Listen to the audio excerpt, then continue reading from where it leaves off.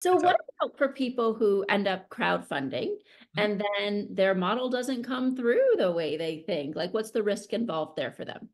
Well, it it depends on um on what type of crowdfunding you've done. So there's really kind of three ways to look at it. You have uh you know the sort of the GoFundMe route, the the donation base where you know I uh, have a don't you know I, I I'm sick you know the funeral Sure. costs we've all kind of seen these online. Yeah, yeah, yeah. There's no there's no tie to that. Here's your 20 bucks and move on.